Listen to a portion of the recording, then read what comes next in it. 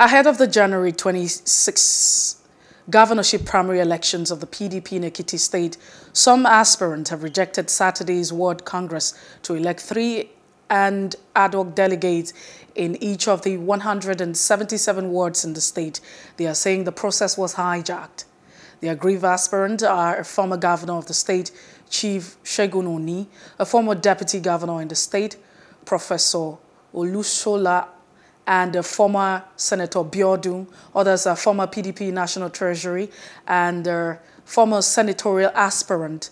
They accused the Congress committee appointed by the party's National Working Committee, chaired by the Akwa Ibom State Governor, Udom Emmanuel, of not following due process by Akwa Ibom State Governor, Udom Emmanuel of not being in touch. If we cannot have democracy by hijack, if anybody is a Muslim man, he should apply the muzzle to winning people for the party. We would believe that the party will take a look at what has happened. For me, this is a repeat performance of the Congress. And this was how it was exactly uh, on March 7, 2020. 2020. And that is what we have been fighting up until now and it has repeated itself. Everything hijacked.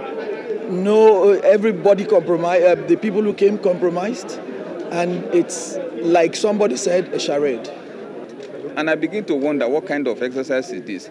And I think uh, the national should take a look at the activities of the people that were sent to come and conduct this uh, Ward Congress. It's quite unfortunate, but this is no Congress, and it's not acceptable.